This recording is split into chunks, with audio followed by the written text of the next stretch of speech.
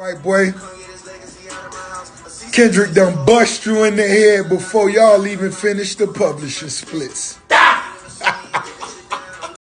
they made that nigga put on FUBU and go back to the restaurant.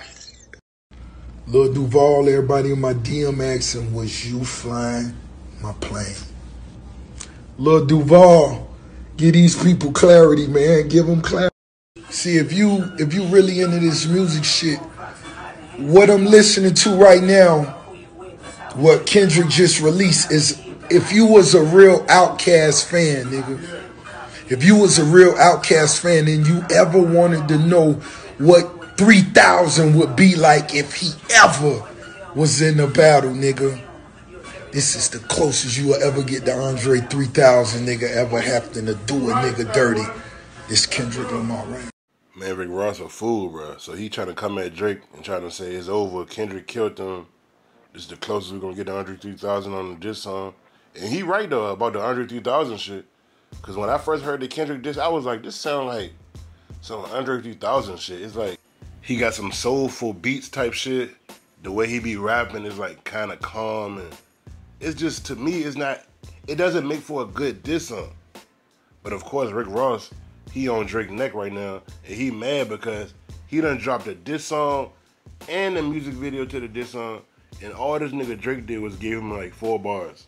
Like Rick Ross want to be inserted in this beef so bad, nigga. Nobody cares about you. It's about Drake and Kendrick.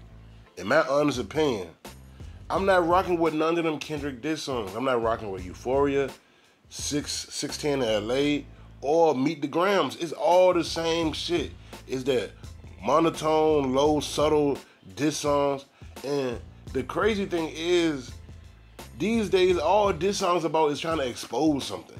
Drake was saying that Kendrick put hands on this girl. Then Kendrick said that Drake was messing with underage girls and talking about he got a daughter. Like, why does everybody want to expose something?